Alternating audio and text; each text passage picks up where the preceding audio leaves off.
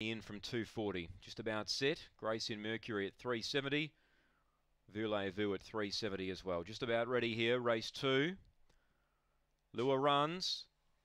And we are ready to race. Race two, Gawler. Ready now. Away. Sassy Selena about third away. Voulez-Vous won the start. Gets about two clear. Sassy Selena comes hard now.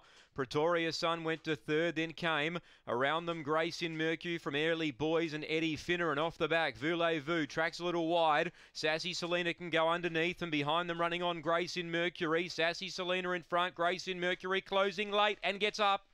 Grace in Mercury ran down Sassy Selena. Voulez-Vous third, Pretoria Sun four, then Early Boys, and last in Eddie Finneran. So five Grace in Mercury wins. Had uh, form that really numerically couldn't suggest him being a chance, but they were in harder races, and he's been able to run down Sassy Selena.